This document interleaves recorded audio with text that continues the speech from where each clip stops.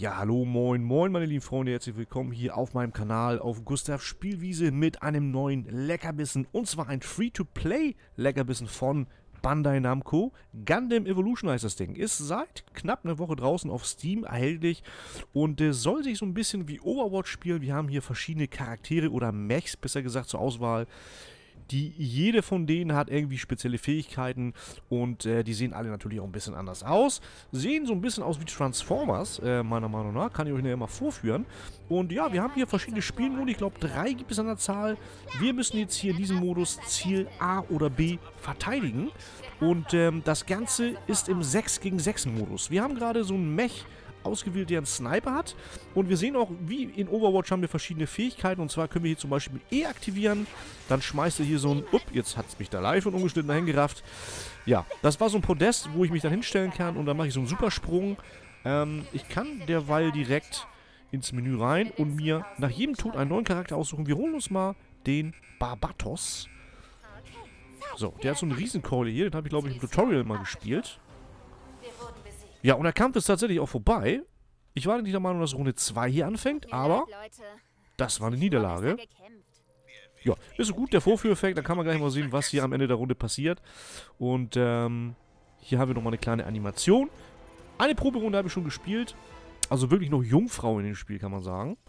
Und äh, ja, die Grafik, muss ich sagen, ist okay. Es ist halt ein Free-to-Play-Spiel. Es ist keine Grafik-Evolution. Hier haben wir natürlich dann obligatorisch äh, eine kleine Auflistung von den Top-Gamern hier. Leider Gottes hat Agushi mit seinem Team das Nachsehen gehabt. Dann haben wir hier nochmal alles, äh, paar Ziele, die wir hier gemacht haben. Erreiche Spielerstufe 3 haben wir geschafft. Erziele ein Kill in Gelegenheitsmatches haben wir auch gemacht. Ranglichsten-Matches gibt es auch ab Level 20, glaube ich, wenn man sie freigeschaltet hat. Wir gehen einfach mal weiter. Guck mal, eine Kill-Medaille haben wir auch gekriegt hier. Was will man mehr? Ähm, wir werden mal in der Lobby bleiben. Oder? Ne, entfernen uns automatisch. Okay, dann gehen wir mal ins Verlassen. Menü rein. Und hier haben wir unseren Startbildschirm. Der ist auch hier wieder einfach gehalten. Und zwar unser Startbildschirm. Irgendwann, wenn wir auf 20 sind, können wir hier Ranglistenspiele machen. Dann Gelegenheitsmatch, wo ich eben war. Dann haben wir benutzerdefiniertes Match und Trainingsmatch. Ich werde jetzt nicht alles anklicken. Einheiten, hier kann man sich die ganzen, ähm, ich wollte schon Operator sagen, die ganzen, ja, Mechs nenne ich sie mal. Die haben auch einen speziellen Namen. Ich weiß gar nicht, wie sie heißen. Schreibt das gerne in die Kommentare, wenn ihr es wisst. Ähm, die sehen, wie gesagt, so ein bisschen aus wie Transformers. Jeder hat sein eigenes Design. Den finde ich ganz cool. Der sieht aus wie so ein spartanischer Roboter. Ja, kann man mal machen, kann man mal spielen, warum nicht? Und äh, ansonsten denke ich mal, dass vielleicht der ein oder andere noch dazukommt. Natürlich gibt es hier einen Shop. Hier gibt es dann ein paar Kapseln, die man sich holen kann. Ingame-Währung etc. Kann ich vielleicht nochmal separat ein Video machen. Wie gesagt, ich klicke jetzt nicht alles an. Freundesliste ist klar. Und hier haben wir dann nochmal die Spielerstatistiken. Der Sergeant Gustav ist in voller Montur auf Level 3 gekommen. Und guck mal, wir haben sogar eine Geschenkebox hier. Auch gar nicht mal schlecht. Holen wir mal alles ab. So, guck mal. Haben wir was verdient. 50 Points. Das ist wahrscheinlich diese blaue Währung, ja, genau. Das ist wahrscheinlich diese Ingame-Währung. Und äh, auch dahingehend, wenn Bedarf besteht, haue ich da nochmal ein Video raus. Derweil werde ich einfach mal ein weiteres Gelegenheitsmatch starten. Also, ähm, das erste Match, was ich gemacht habe, das hat eigentlich nicht lange gedauert, bis ich da äh, jemanden finde. Dafür, dass das Spiel circa eine Woche alt ist, ging das relativ fix. Ich selber habe von dem Spiel noch nichts gehört, aber zufällig habe ich das bei Steam gefunden. Und äh, ja, vielleicht machen die Entwickler ja ein bisschen Werbung. Bandai Namco ist auf jeden Fall ein namhafter Entwickler. Die machen immer richtig geile Dinger. Und ja, Season Pass befinden wir uns in Season Nummer 1. Ja, dieses Video ist auch jetzt äh, aktuell spontan entstanden. Und zwar schreiben wir den Sonntag und äh, eigentlich läuft noch die Open Beta von MW2 Call of Duty. Da wollte ich auf jeden Fall noch eine Runde machen. Deswegen wirklich ein ungeplantes, spontanes Video. Wir sind gerade auch hier in der Missile Base. Mhm. Okay. 6 gegen 6, geht wieder los. Mal gucken, welchen wir uns jetzt aussuchen hier. Kleines, stumpfes Geballer. Natürlich mit einem Hauch Taktik mit drin. Und dann schauen wir mal, wie weit wir kommen. Gundam Evolution, ja. Zieh du das rein, wie gesagt, free to play. Es ist keine Early Access Version oder Beta Version oder sonstiges. Es ist ein vollwertiges Spiel. Wir nehmen mal derweil den spartanischen Roboter hier, der gefällt mir ganz gut. Guck mal, den haben sie uns direkt weggeschnappt. Ähm, okay, dann nehmen wir mal den Pay Rider. Hört sich auch sehr geil an. Hört sich so ein bisschen an wie Saber Rider. Alte Veteranen wissen, wovon ich rede. Saber Rider und die Star Sheriffs. Grüße gehen raus. Und ähm, ja, wir müssen hier auf jeden Fall die Base verteidigen. Und das Ganze geht in knapp eine Minute los. Man hört es auch, es ist auf Deutsch vertont. Das ist immer auch sehr geil. und verhindert, dass sie erobert werden. Warnung. So, Vorbereitungsphase. Mal gucken, was für Fähigkeiten wir haben. Wir haben erstmal E. Das ist so eine Art Energiefeld. Okay, ich kenne natürlich die Fähigkeiten noch nicht, ne? Ich muss jetzt hier Learning by Doing machen. Okay, das war, glaube ich, so eine Art... Habe ich jetzt gar nicht drauf geachtet. So eine Granate oder so? Machen wir gleich nochmal. Das Aufladeding. Ja, genau, das war eine Granate. Und dann haben wir noch C. Lass mich dir helfen. Okay, das ist so ein Heilungssegment. Alles klar, sehr nice. Derweil können wir natürlich auch direkt, bevor es losgeht, äh, unseren Operator, nenne ich sie mal jetzt, oder unseren Mech wechseln. Aber wir bleiben mal bei diesem Spartaner. Und wir haben eine kleine Sprintfunktion, die sich dann immer wieder so entlädt. So, mal gucken, wo unsere Mates jetzt hier sich befinden. Die Dinger habe ich auch schon gesehen. Das ist Heilung, glaube ich, ne? Okay. So. Wir befinden uns hier in diesem coolen Komplex. Ich hoffe, dass der Sound einigermaßen gut ist. Ich habe die Spiele-Soundgeschichte ein bisschen runtergedreht hier fürs Video. Dass man auch ein bisschen was vom Spiel dann hört. So, ich bleibe mal bei meinen Mates hier. Oh, da hat er mich gleich erwischt. Ich habe ihn schon ein bisschen eingeheizt. Also die ersten Gefechte, die ich hier hatte, die ersten Gunfights, die waren schon ziemlich äh, nicht ohne. Ich habe schon ziemlich auf die Fresse gekriegt. Ähm, der eine oder andere Crack, glaube ich, hier, ist hier schon unterwegs. Da das Ganze aber Free-to-Play ist, ähm, könnte ich mir vorstellen, dass es auf jeden Fall eine solide, stabile Fanbase hier im Laufe der Zeit äh, bekommt. So, das ist ja, glaube ich, auch ein Spiel, was man... Oh, guck mal, da sind sie alle auf einmal. Ich habe doch hier noch eine Granate. Ja, wo war die? Da? Scheiße. Ah, nicht gehauen. Nicht hingehauen. Live und ungeschnitten, Freunde. Ja, kann mir vorstellen, dass es auf jeden Fall eine solide Fanbase äh, bekommt. Lässt sich auch, denke ich mal, sehr gut streamen, das Ding. Grafisch nicht super mega aufwendig. Sollte mein PC hinbekommen. Hm, wir behalten ihn mal. Auch hier sieht man natürlich Teamplay, das A und O. Die laufen alle zusammen im Rudel und dann sind sie natürlich unschlagbar. Deswegen werde auch ich jetzt. Versuchen, bei meinen Kumpels zu bleiben. So, Sprung haben wir normal. Ich habe gedacht, oder ich hätte gedacht, dass diese Mechs irgendwie einen Doppelsprung haben oder so, haben die aber nicht. Okay, pass auf. Wir haben jetzt... Oh, der hat so ein Energieschild. Okay. Also die Sprintfunktion, die man hat, kann man auch sehr cool als Ausweichbewegung benutzen. Ähm, ich glaube... Ich muss die Buttons noch ein bisschen hier reinziehen. Wir machen mal ein bisschen Heilung hier. Hat nicht lange angehalten. Okay, schon gleich in Sicherheit. Vielleicht können wir die flankieren irgendwie. Oh ne, da ist kein Durchgang. Scheißendreck. Uh, das kommt sie von allen Seiten. So muss der Gushi aber rennen. Ah, ja, ja, ja. Zu passiv. Da hat er mich gejagt wie ein Bluthund. Das Ganze ohne Gnade. Ja, das Spiel geht noch 5 Minuten. Ich werde auch das, äh, ich betone es immer wieder, äh, das machen, was ich normalerweise nicht mache, ne? Weil ich das Video jetzt nicht so super lang halten möchte, sondern eher ein bisschen kurz und informativ. Werde ich im Spiel jetzt rausgehen, was ich normalerweise eigentlich nicht mache. Ähm, aber dem Video geschuldet muss es halt jetzt sein. Oh, auch da. Hat er keinen Stich gesehen. Ich kann mir vorstellen, dass man hier vielleicht das ein oder andere neue Outfit bekommt. Ähm, ansonsten gehe ich mal stark davon aus, dass man die Mechs irgendwann mit anderen Skins ausrüsten kann. Habe ich mich jetzt äh, aktiv noch nicht mit befasst, aber ich gehe jetzt mal stark davon aus. Ähm, irgendwas in die Richtung wird auf jeden Fall da sein müssen, weil irgendwie muss ich das Ganze auch finanzieren. Ähm, und bei aller Liebe zu Bandai Namco, ich glaube nicht, dass sie einfach nur ein Free-to-Play zur Unterhaltung raushauen. Die wollen mit dem Ding auch was verdienen. Und äh, deswegen gehe ich mal stark davon aus, dass da ähm, Skins kommen.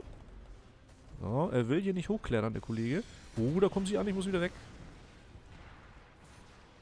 Ich laufe mal lieber weg hier. So, jetzt versuchen wir noch ein bisschen Schaden auszuteilen hier. Das Ganze mal ein bisschen aus der Deckung. Ich habe vorhin einen sehr coolen Mech gespielt. Der hatte irgendwie einen Sniper.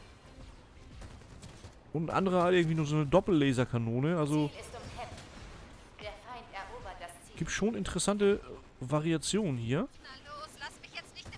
So, vielleicht überleben wir ein bisschen länger. Guck mal, den haben wir das Schild schon auf jeden Fall weggeballert. Heilung raus, Granate raus. Okay, den haben wir eingeheizt. Tatsächlich sogar ein bisschen chaotischer als das neue COD. Die Action, finde ich, ist halt sehr gut komprimiert hier. Ähm, Spielmodus, glaube ich, gibt es halt diesen Herrschaftsmodus. Dann gibt es den, den wir jetzt hier haben. Ich glaube, das ist kein reiner Herrschaftsmodus hier. Und äh, irgendein anderer. Also es gab drei Modis zu Release. Ich weiß gar nicht, was der dritte ist. Äh, schreibt das gerne in die Kommentare. Wenn ihr dahingehend mehr wisst. Uh, jetzt hat er mich. War ein guter Gunfight. Ja, und äh, ja, so sieht die Lage aus, Freunde. Ich denke mal, ein erster Ersteindruck ist hiermit getan. Ich glaube, ich werde noch einmal spawnen hier. Vielleicht noch einmal, wenn ich das erwische, mit einem neuen ähm, Mech. Der sieht... Oh, der ist noch nicht freigeschaltet. Exia. Die letzten sind noch nicht freigeschaltet. Okay, Kampf ist vorbei. Runde 1 vorbei. Gut. Nichtsdestotrotz, wir machen das. Wir gehen jetzt raus, weil Genau, das Prinzip habe ich noch nicht ganz verstanden. Ich glaube, es ist eine gewisse verbleibende Zeit. Ich glaube, wenn das eine Team das Ziel erreicht hat und diese verbleibende Zeit ist auch die Runde 2, ne? Achso, komm, wir spielen das mal durch. Wir spielen das mal zu Ende hier. Die drei Minuten haben wir noch, dann ist das Video ein bisschen länger. Ich kann meine Mails jetzt nicht im Stich lassen, Freunde. Ihr versteht das. Und, ähm, Missile Base will verteidigt werden. Zieht euch das auf jeden Fall rein. Macht auf jeden Fall Fun. Und ich denke mal, wenn man das mal mit ein paar Kumpels spielt, dann, äh, sieht das schon ganz geil aus. So, knapp eine Minute noch, Vorbereitungsphase. Drei Minuten Spielzeit und so kann ich vielleicht nochmal den ein oder anderen äh, Mech hier testen. Ich verwette mein Leben darauf. Ist natürlich auch sehr cool, dass es auf Deutsch vertont ist. Das gibt dem anderen noch, äh, dem Spiel noch ein bisschen Flair hier. Die Auflösung ist extrem hochgestellt hier. Muss ich natürlich mal gucken, wenn ich das nachher streamen sollte oder die Tage, muss ich da die Grafik ein bisschen optimieren. Weil mit hoher Auflösung lässt sich das nicht ganz so gut streamen. So, okay. Achso, ich kann ja nochmal vielleicht meine Fähigkeiten testen. Wir haben hier noch die F-Variante. Okay. Was macht das Ding? Aha, ah, okay. Das ist so eine Art Beamen der Axt. Ich feuere die Axt los und kann mich dahin beamen. Auch nicht schlecht. Dann haben wir noch die C-Variante. Was ist das hier? Das habe ich jetzt gar nicht gerafft, was das ist. Okay. Okay, die Kanone scheint aber ein bisschen Wumms zu haben. So, das ist natürlich auch ein sehr schönes Areal hier. Wir befinden uns im Weltraum. Natürlich immer noch auf der gleichen Base. So, wir machen einfach mal ein bisschen Alarm hier von da hinten. Müsste ich direkt nachladen.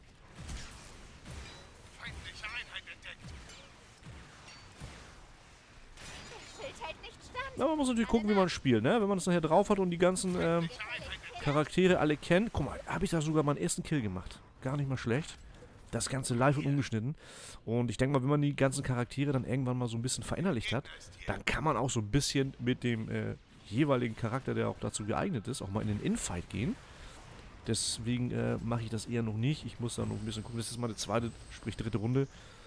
Und ich muss erstmal gucken, dass ich da überhaupt ein bisschen zurechtkomme. Er steuert sich aber sehr gut, kann ich schon mal sagen. Eieiei.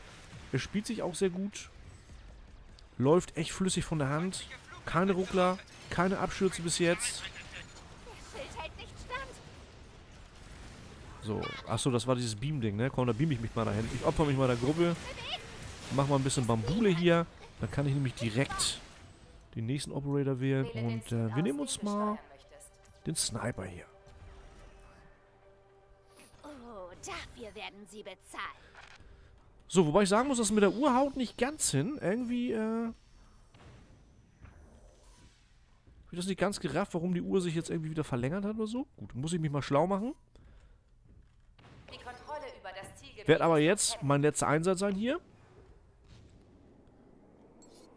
So, und dann versuchen wir vielleicht nochmal den einen oder anderen wegzusnipern. Wenn es denn klappt.